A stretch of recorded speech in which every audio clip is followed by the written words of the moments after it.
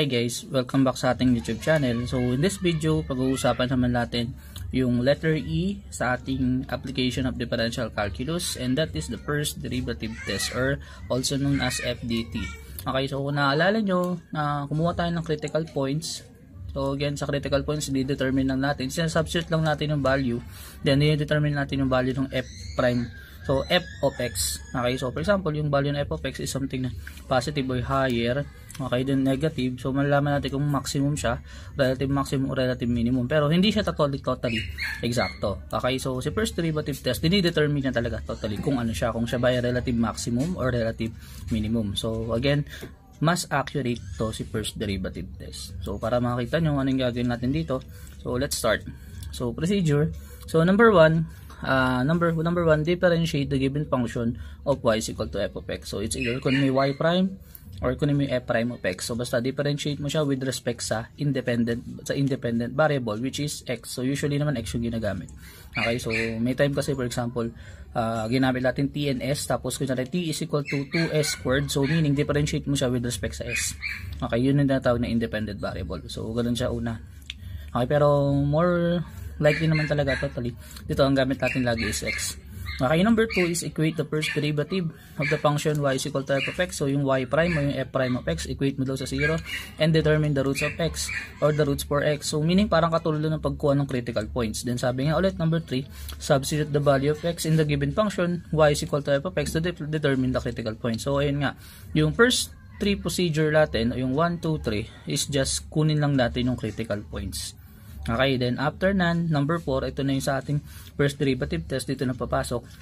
Okay, so test the first derivative of the function by substituting a value less than the abscissa of the critical points, then a value greater than greater than.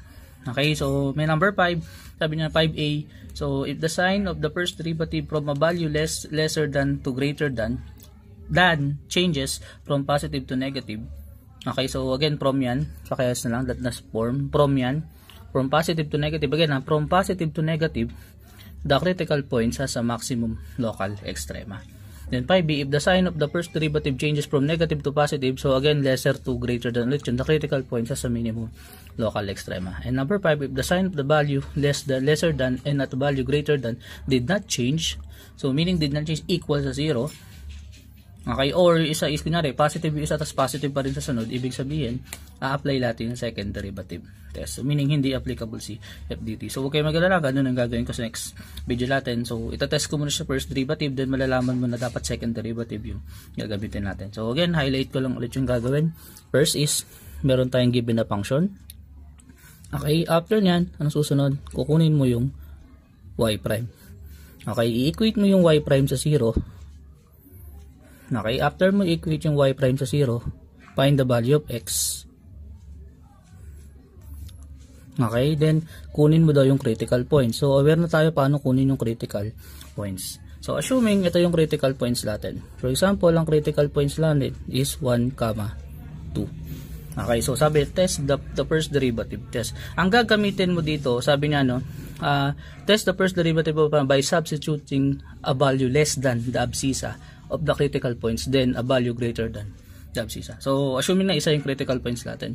Ito yung abscissa natin. Ang, abscissa, ang, ang abscissa natin is yung x-coordinate. Okay, note, ito yung abscissa, ito yung ordinate. So, ang gagawin natin, gagamitin mo yung y prime. So, kung ano yung nakuha mo y prime, yung hindi na-equate sa 0. Again, yung hindi na-equate sa 0. So, yun yung function natin gagamitin. Gagamitin ko yung y prime, kukuha tayo ng value dun sa abscissa. So, ang gagawin, kukuha ka ng less than sa kanya, tapos ng greater than. Dalawang klase yun. So, una, for example, ito yung 1. So, for example, yung x greater than uh, x greater than x sub 1. So, meaning yung 1, kung, kung 1 yung abscissa natin, yung mas mataas, o yung less than, sorry, una pala less than. So, kukuha ka ng value na less than 1, so that is 0. So, meaning, una kong gagawin, substitute ko to at 0, or evaluate ko to at 0. So, may value na lalabas. Okay, next is, kunin ko naman yung value x greater than x sub 1. So, since 1 yung abscissa, kuha ka naman ng mas mataas, which is integer. Dapat yung mas mataas na kunin mo lagi is integer. Kasi ganito, may mga chances na yung abscissa natin is fraction or decimal. So, for example, sir, for example po, fraction yan. Kunwari po, sir, 1 half. Ano po kukunin namin? Siyempre, yung mas mataas sa kanya is 1. Yung mas mababa sa kanya is 0. So, wag mo na ilayo. tandaan mo, wag mo nang ilayo. So, ang goal ko lang, uh, wag mo na siyang ilayo, saka wag ka ma uh, wag ka malito na, sir, what if po negative po yung abscissa? Kung negative abscissa, for example, negative 1 yung abscissa, kunin mo yung less than, negative 2. Yung greater than, 0. Okay, so again, wag mo na siyang ilayo, mas mabuti na yung malapit. Okay, then kunin ko ulit ha, kunwari, tulad na ito, So, since napili ko, x is greater than x of 1, ang pipiliin ko syempre is 2. Okay, so, kunin ko ulit yung y prime at 2. So, evaluate. Kung baga sa substitute ko lang. After nun, may makukuha kang sign. May value na lalabas, to be honest. Or, to be exact. Eh, sorry. Sorry. So, for example, lumabas dito is positive. Then, lumabas dito negative. So, sabi ng 5a, if if the sign first derivative from the value less than, lesser than to the greater than. So, again, unahin mo dapat yung less than to the greater than changes from positive to negative. So, from positive to negative. Therefore, pwede natin sabihin na yung critical points na yun, then the critical points sa minimum local extrema. Okay, so minimum lo local extrema siya. Otherwise, kung siya naman ay from negative to positive, tawag naman sa kanya is maximum local extrema. Ah, sorry, yung una pala is maximum local extrema, pangalawa is minimum local extrema. Okay, so from positive to negative, maximum local extrema, from negative to positive, minimum local extrema. Ngayon, kung nagkaroon ng isa sa kanilang dalawa zero, or kunyari, kung nagkaroon naman ng kunyari positive, positive, or negative, negative, or may isang zero, isa positive, basta at least may isa zero, ibig sabihin, second derivative test tayo. Okay, so again, sinamarize ko lang yung gagawin natin para at least magka-idea ka ano ba yung gagawin natin dito. So, syempre, proceed tayo sa example. Hindi ako papayag ng wala example tayo dito. So, nagready ako na at least dalawang example para ma-determine natin yung gagawin. So, again, hindi ko na titingnan tong test na to. Ano na tayo, proceed tayo right away para makita nyo yung gagawin natin. Okay, so, tabi ko lang kasi madulas yung aking sulatan. Yun, so sabi, determine all the critical So, determine all critical points, inflection point. So, first time nyo nakita to, sir, paano namin kukunin yung inflection point? So, mamaya papakita ko. Ito, madali naman yung inflection point, to be honest. Okay, then concavity and local extrema of the following. So, usually dito, pag may sagot ka, isa-summarize mo siya into table. So, ilalagay mo lahat ng critical points, inflection point. Okay, then determine mo kung anong klase siya. Kung siya ba ay maximum, minimum. Okay, tapos kung ano yung concavity niya, upward, downward. So, usually, may concavity lang is yung critical points. Ang inflection points, walang concavity. Okay, kasi from previous video, kung naalala nyo, ang concavity is in between ng ating upward saka downward. So, doon natin usually nakikita yung concavity natin. Okay, so, we start with this. So, make sure na makinig ka mabuti. Medyo titingin lang din ako sa aking kodigo. So, kasi magkamali sir. Ayoko kasi magkamali na tayo totally. Okay, so, proceed tayo dito. Para medyo kakaiba okay so I think medyo ano ako may mali ako na isulat sa given so I think i-revise ko yung ating given kasi ang nakopya ko is yung mali na ginawa sa amin last time so that is 5 years ago so 5 years ago may kinopya ako doon. Tapos ang nangyari is mali pala. So ito yung nailagay ko eh. Okay so sorry. Agad kasi mali agad sir. Pero at least yung given lang naman. At least hindi pa tayo nag start okay so burahin ko to. So, ang given talaga for number 1 is y. So, hirapan natin konti. y is equal to x cubed minus 4x squared plus 4x.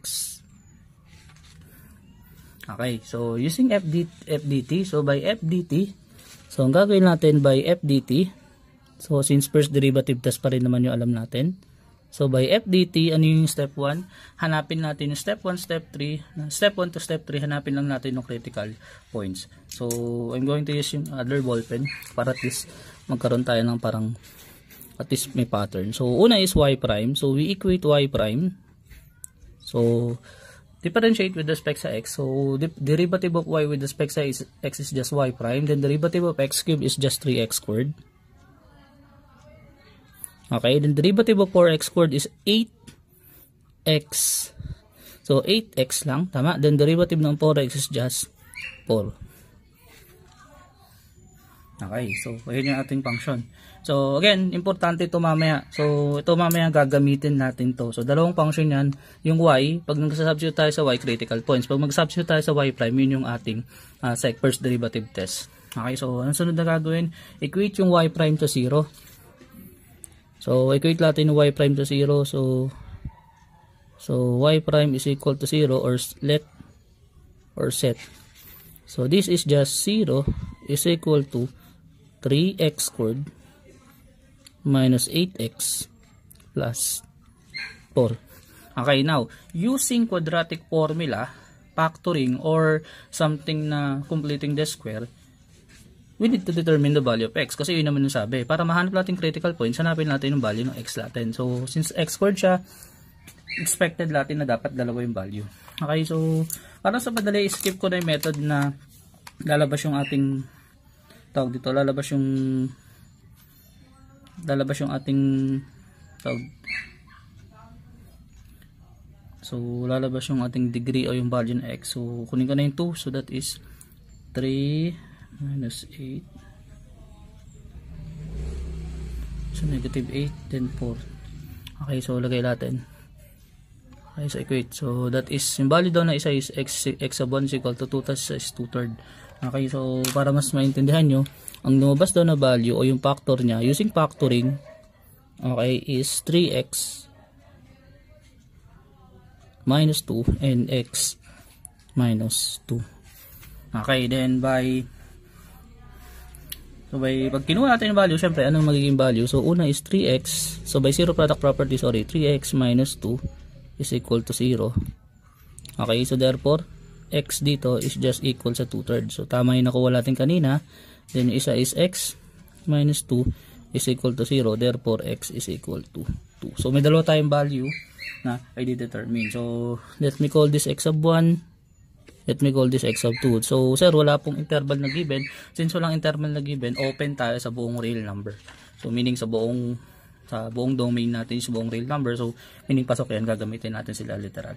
Okay, so now, we need to determine the critical points. Kasi, sila ay absisa pa lang talaga totally. Okay, so kailangan natin kunin critical point. So ano ginagawa? Sa substitute natin x sub 1 doon sa original function. Substitute natin x sub 2 doon sa original function. So para makuha natin yung ating critical point. So una is uh, at x is equal to at x sub 1 is equal to 2 third. So we have y sub 1 is just equal sa 2 third raised sa 3 minus 4 then 2 third raised sa 2 then plus 4 times 2 third. So again, critical points, isa-substitute lang natin siya doon. Okay, so using calculator, pwede ko nang gamit ng calculator literal. So ako skip ko na yun. Kung ano magagamit lang doon. So y sub 1 is just 32 over 27.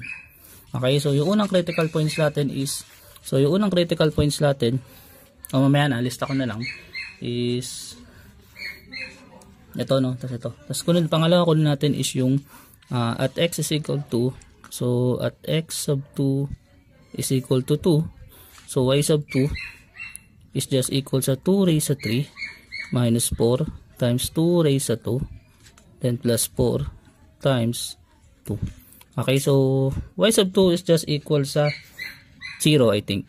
Kasi 8 minus 16 is negative 8 plus 8 is 6 0 Okay, so therefore, ano yung critical points natin? Lista ko lang ano yung critical points. So, yung critical points are CPR, dalawa una, X sub 1. So, so per P1 or P sub 1, P sub 1 is 2 third, comma, 32 over 27. Okay, P sub 2 is next is 2, comma, 0. Okay, so meron tayong critical points. So, next is punta tayo dun sa ating test 4 or substitute. Gamitin natin yung ating uh, first derivative test. So, ano sabi ng first derivative test? Using yung critical points, yung absisa daw ng critical points, kukuha tayo ng value less than, okay, probably dapat integer, again, then value greater than. Okay, so una is at x or per critical point, so guys, i-green ko na lang. So, dito ko na lang, no? So, for P1, angat ko konti. For P1, we have 2 third, comma, 32 over 27. Okay, so, ano yung value natin dito? So, ang unang value natin is, at, lagay ko na lang, no? At, uh, at x sub 2, at x is equal to 2 third. Okay, so unang value less than is x less than x sub 1. Okay, so hindi siya totally 1 na to. So again, i-determine ko lang siya as parang value dyan.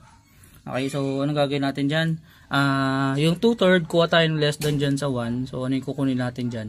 Uh, ang kukunin natin dyan uh, mas mababa sa 2 third is 0. Automatic. Okay, so choose natin si 0. So we choose x is equal to 0. So choose x is equal to 0. Then, anong gagawin? Isa-substitute ko siya dito. Okay, isa-substitute ko siya dyan. So, kunin ko yung y prime. So, y prime is equal sa 3x squared. So, that is 3 times 0 square minus 8 times 0 plus 4. Okay, then therefore, y prime is just equal sa positive 4. So, pakilagay yung positive. Okay, okay, next kunin natin yung value at x greater than x sub 1.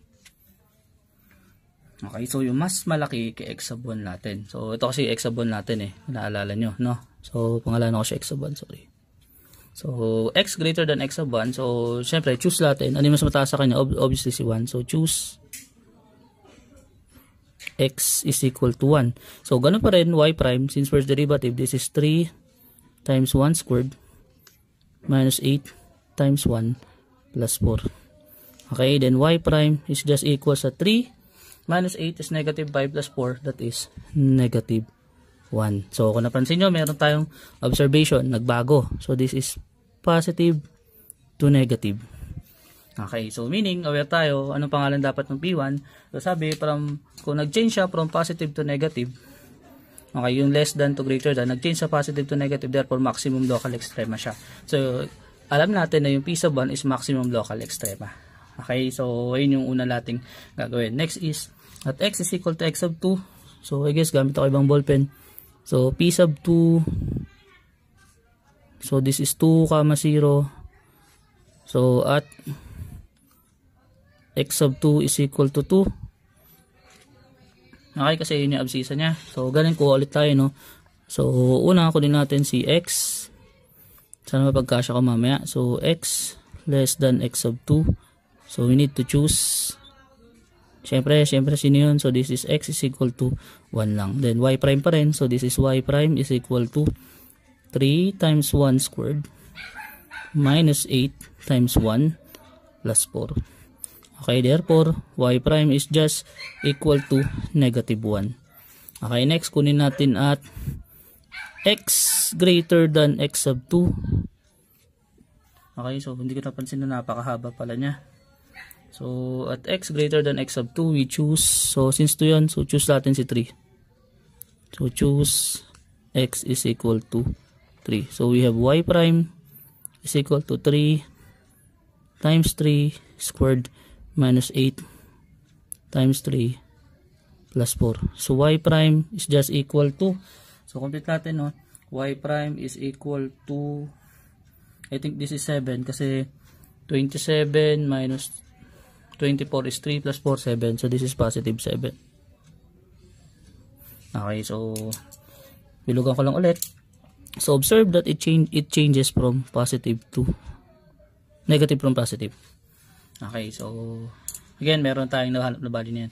Ngayon, next is hanapin natin yung inflection point by the way. Okay? So, I guess pwede mo itong gawin, no? So, before ka siguro mag-check ng first derivative, pwede mo na hanapin yung inflection point. Gamitin na natin itong space na to. Okay, so for inflection point, gamitin ko na lang, no? Ang gagawin mo lang, diba ito yung y prime? Kunin mo yung sa second derivative sa inflection point. Kunin ko yung second derivative. So, punta, sa, punta tayo dyan for inflection point. So, kunin ko yung double prime. This is equal sa 6x Okay, minus 8. Equate ko yung y double prime sa 0. So, this is 0 is equal to 6x minus 8. Then solve for x. Obviously, 8, obviously, x natin dito. So, this is 8 is equal to 6x. Or obviously, x is equal to uh, 4 over 3. Okay, then, gagawin mo, isa-substitute ko lang siya dun sa original. So, again, sa-substitute ko to sa original pa rin, hindi dun sa first derivative, sa original. So, substitute lang natin. So, this is just y is equal to 4 over 3 raised to 3 minus 4 times 4 over 3 raised to 2 plus 4. So y, so y i sub p, so ganoon na siguro pangalan natin, y i sub p, tapos ito ay x i sub p, kasi inflection point. Okay, so yi sub p is just equal sa, by calculator, this is equal sa, uh, I think 16 over 27. So input ko konti, 16 over 27. Okay, so yan yung ating inflection point. So, ngayon, lagyan natin ng summary, ng summary yung ating mga sagot. So, sorry, medyo nagulo or makakain yung space dito. Pero hoping na makuha natin. Okay, so again, ito yung inflection point. Wala pa yung inflection point totally. Lalagay natin siya as inflection point mamaya. Okay, so una gagawin natin lista mo yung mga points. So I guess lalagay na ako dito ng parang konting space. Gamit na tayo konting space. So una gagawin ko, lalagay ako dito ng points. Ito yung summary. Tapos pala summary or something na parang, or table. Huwag pala summary. So we have table ng ating mga sagot. So una is we have the points. Okay. Sunod is description.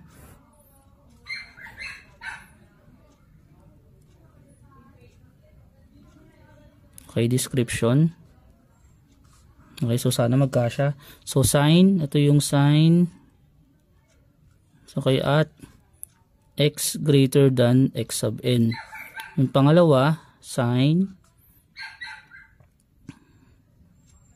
at x greater than x sub n. Okay, then concavity and extrema. Okay, concavity. Concavity. Tapos, extrema. Okay, so lagyan ko dito ng konting duhet para magmukha naman siyang maayos. Okay, so again, lalagay natin mga points. Ano ba yung mga points? Uh, mga points natin, siyempre yung dalawang critical points. P sub 1 is 2 third, 32 over 27. Okay, so lagay mo una yun, say this is 2 third, comma, 32 over 27. Okay, so ano description niya? Based sa ating table, ang description niya sa ay critical points. Dalawa kasi description. It's either critical or inflection point ka. So siya ay critical points or CP. You can use CP. Okay, ano yung sign niya at x less than? So that is positive tas negative. So ayun yung binilugan ko. So from less than this positive tas ito ay negative. So ngayon, from positive to negative, alam natin na siya ay relative maximum.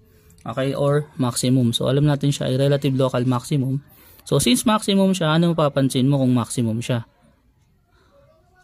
Kung maximum siya, ano itsura ng graph? Ang itsura ng graph is pa pasad, pasad pace kasi maximum. So usually pag maximum pag ganito. Okay, pag minimum, pag ganyan. So, kung maximum siya, ano yung concavity? Siya ay upward. Okay, so again, siya ay upward. Okay, next is lista natin sunod. Ang sunod na value is 2, 0. Okay, 2, 0 is just CP also. Okay, we all know that this is from negative to positive. So, since negative to positive siya ay minimum. Okay, then this is downward. Okay, then lastly, ano yung huling points natin na kinuha? Yung IP. Yung IP natin is 4 third, comma, 16 over 27. So, this is 4 over 3, comma, 16 over 27. So, hoping na tama yung solution ni sir. Yan. Okay, so tuloy ko na lang. Hindi ko na buo. So, dapat box to ha. So, table nyo ako kasi tinatamad na ako mag-table. So, we all know that this is IP. So, this is inflection point.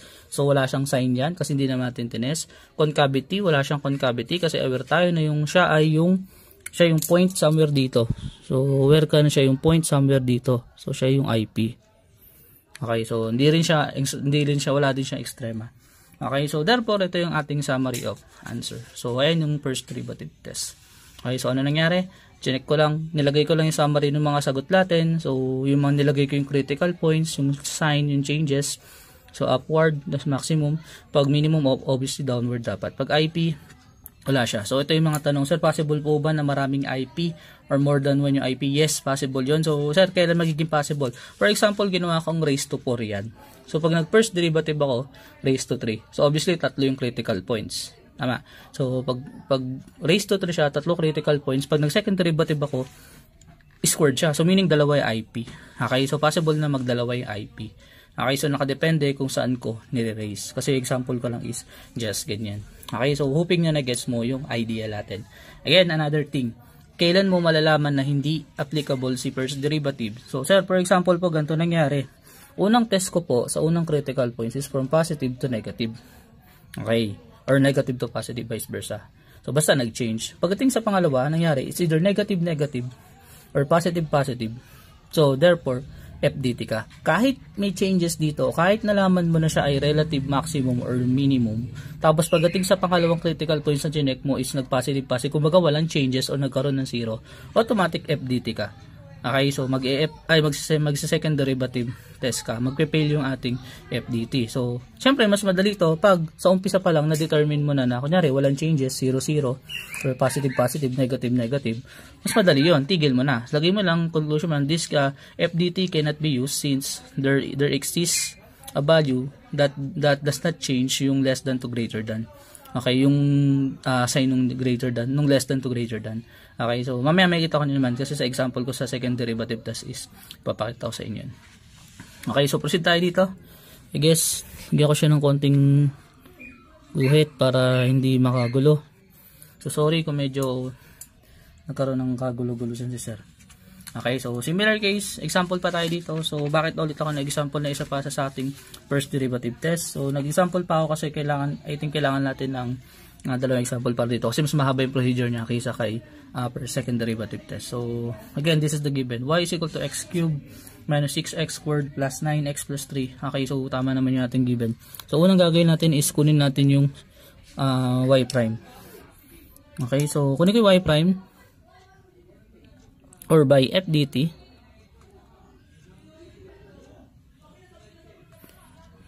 by f dt this is y prime is equal to 3x squared minus 12x plus 9. Okay, so meaning ito yung gagamitin natin na formula mamaya sa first derivative test. Okay, so ito yung gagamitin natin na formula sa first derivative test. Next is equate natin to sa 0. So lagay ko na lang no let let y prime is equal to 0. So this is 0 is equal to 3x squared minus 12x plus 9. Then after this, pwede ka muna mag-simplify. So before mo hanapin yung roots of x, pwede ka mag-simplify. Since nakikita sa 0, dinivide natin yung whole term o yung buong equation by 3, marireduce lang siya dito. So this is just equal sa 0 is equal to x squared minus 4x plus 3. Okay, then ang very obvious ng ating magiging sagot. Ang factor niyan is just x minus 3, then x minus 1, I guess. Kasi negative 3 plus negative 1 is negative 4, negative 3 times negative 1 is positive 3. So, this is 0 is equal to x minus 1, then x minus 3. Okay, now we need to determine the value of at nating critical points. So, una is x minus 1. Okay, so therefore, x sub 1 is equal to 1 so, sa una then x minus 3 is equal to 0 this is x sub 2 is equal to 3 okay so para mas madali pwede mo continue dito na eh. Okay kumbaga para hindi ka na mahirapan continue mo na dyan yung paghahanap ng value ng y sub 1 so kumbaga para tuloy-tuloy na. So another thing na pwede mong gawin. So x sub 1 substitute ko doon para makuha si y sub 1 so this is just y sub 1 okay so y sub 1 is equal to 1 cube minus 6 times 1 squared plus 9 times 1 plus 3. So therefore, y sub 1 is just equal sa y uh, 1 minus 6 that is negative 5 plus 9 so that is 4 plus 3 that is 7. Tama ba? So is tama naman no. So that is 7. So this is 7. Okay, so therefore p sub 1, lagay ko dito, p sub 1 is equal to 1, comma 7. So, at least pwede ka magtuloy-tuloy dito. Next dito, y sub 2. Okay, so this is 3 cube, no? 3 cube minus 6 times 3 is squared plus 9 times 3 plus 3. Okay, so recta lang natin. y sub 2 is just equal to, compute, compute. Okay, so ang sagot daw niya is for y sub 2 that is 3. Okay, kasi that is 27 minus uh, 27 minus 54 plus 27. Tama ba? So 27 plus 27, 54 minus 54 plus 3, that is 3. Okay, so this is just 3. So p sub 2 is equal to 3, comma 3. Okay, so now, uh, meron tayong dalawang critical points. Critical points natin is P1. So, pwede mo lang hindi isulat na ganito. So, ganun sige nilista ko pa yun. No? CP ganitong dalawa. So, pwedeng ganito naman isang other mong solution. So, kanya, ganun na lang. So, aware na ako ng critical points yan kasi dito ko naman ginawa. Baka lagyan mo na lang dito ng CP or something na ito ay CP. Parang indication na siya ay CP. Para hindi ka malito. So, CP. Okay, next is syempre ganun ko na. Gawin na natin. Hanapin na natin sa inflection point para hindi tayo mahirapan. Okay, so gamit ako ibang ballpen. So, for inflection point, or for IP. So from first derivative, kunin natin second derivative then equate sa 0. So this is y double prime. Okay, so balikan ko lang ha. So anong nangyari no? Uh, nag-skip kasi hindi ko napansin habang nagsasalita ako na stop na pala yung video. So nangyari for IP, so kunin natin y, y second second derivative dun mula sa first derivative. So second derivative that is y double prime, then 3x squared, derivative nun is 6x, derivative ng negative 12x is 12, derivative ng 9 is 9. Okay, so ganun nangyari. So after na equate natin yung y double prime sa 0. So alam naging ano na. So sorry kasi nasulat ko. Di ko talaga napansin totally. Okay, then that is 0 is equal to 6x minus 12. Then that is 12 is equal to 6x or obviously x is equal to 2. So lagay natin siya as x sub ip is equal to 2. So ito yung ating abscissa na inflection point. So after nan kunin natin y sub ip using yung original equation. Again, kay critical points, naka-inflection point, ibabalik lang natin siya sa original equation. So, so y i sub p, o sa original function rather. So, y sub ip is equal to x cube. So, that is 2 cube minus 6 times 2 square plus 9 times 2 plus 3. Therefore, this is just equal sa 8 minus, I guess, 6 times 4 is 24. So, 8 minus 24 and something ganyan. So, plus 18 plus 3. So that is 5 I guess. So that is 5. So nag-compute na lang ako bahala na. Okay, so therefore ano yung inflection point natin? So ang IP natin o yung P sub IP is just 2, 5. Okay. Ngayon, balik na tayo dun sa ating dalawang points, sa dalawang critical points kasi hindi pa natin alam. Kasi wala na tayong gagawin kay critical points rather. So, unang is p sub 1. So, for first derivative, so for p sub 1, we have 1, comma 7. Okay, so note na i-observe natin is x sub 1 or at at x sub 1 is equal to 1 Okay, so we need to choose yung una. We have x less than x sub 1. So obviously, anong integer yung mas mababa sa 1? Obviously, siya si 0. Okay, so 0 natin. So choose x is equal to 0. So, after we choose x is equal to 0, substitute natin siya sa first derivative, which is yung y prime. Again, hindi dito. Kasi ito yung dapat ito, no? supposed to be ito. Sir, ito po. Hindi. Ito kasi yung, inequate natin yung 0 sa y prime, tapos sinimplify. Ito kasi yung original equation talaga na totally. Okay, so this is just y prime is just equal sa 3 times 0 square minus 12 times 0 plus 9. So, therefore, y prime is equal to positive 9.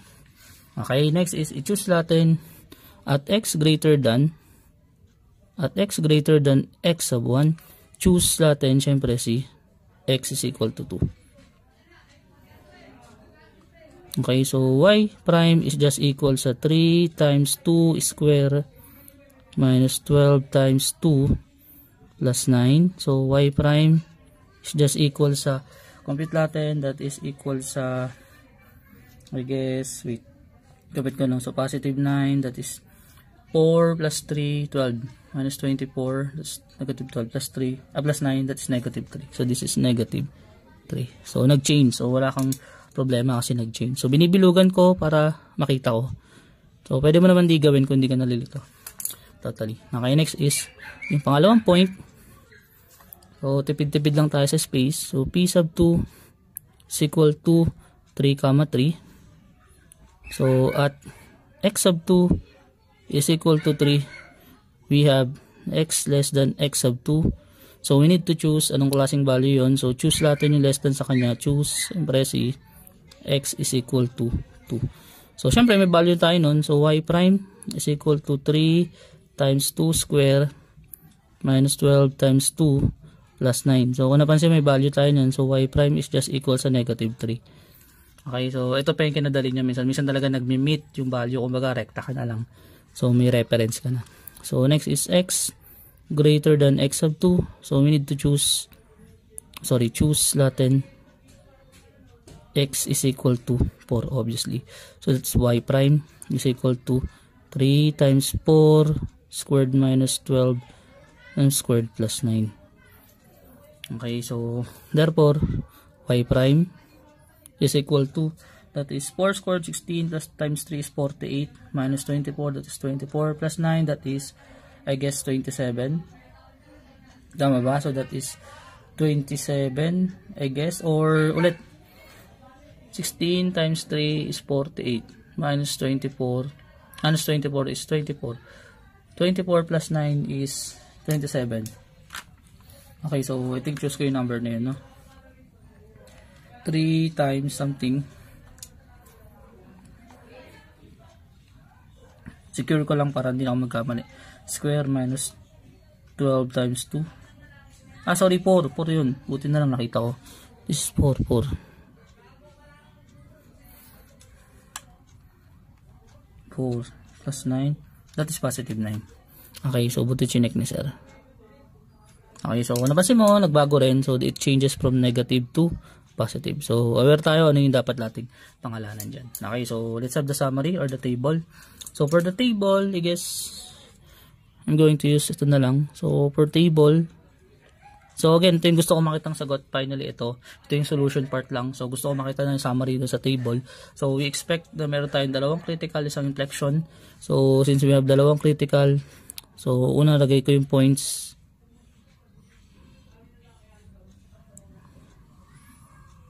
Okay, so una yung points.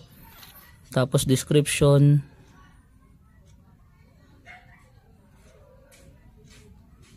Okay, next is sign at x less than x sub n. Okay, then sign at x greater than x sub n. Okay, then we have the concavity. Then lastly, we have the extrema. So, hindi ko na-expect na ganito kahaba yung video na to. Okay, so sulat ko na lang, bilisan ko konti. So we have 1, 7. Okay, this is CP. Okay, 1, 7, CP. So sign niya from less than, that is positive to negative. So this is positive to negative. Since positive to negative siya, so ito ay upward. Ever tayo kasi maximum siya. Upward tapos siya ay maximum. Okay, next is 3, 3. 3, 3, syempre CP pa rin siya, critical points. Siya ay from negative to positive, so that is downward. Downward then minimum. Okay, next is the IP or the inflection point, that is 2, 5. 2, 5 is the description is IP, then wala nang changes. Okay, so therefore, ayan yung ating summary of table o yung summary of answer natin sa number 2. So, hoping na na-gets mo what is FDT. So, feeling ko naman na-discuss ko siya or nasabi ko lahat ng pwede mo maging tanong pagdating dito. So, again, pag x to the fourth, expect mo tatlo yung critical, dalawa yung IP. Pag x to the, x to the fifth, apat yung critical, tatlo yung IP. Okay? So, ayun yung mga possible, possible na mangyayari dito. So, hoping na na-gets mo to. Okay, at the same time, uh, hoping na marami ka natutunan. So at least mas accurate ito kaysa dun sa ginagawa natin last time na kinukuha ko siya by relative maximum relative minimum. So again, thank you for watching. Hoping na panoorin next video that the next video is all about the second derivative test.